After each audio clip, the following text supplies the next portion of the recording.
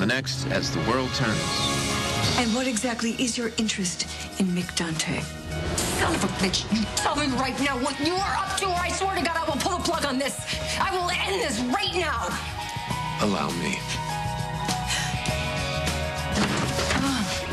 You had a talk with your priest. About what? About getting an annulment. You got the bottle in your six? Uh-huh.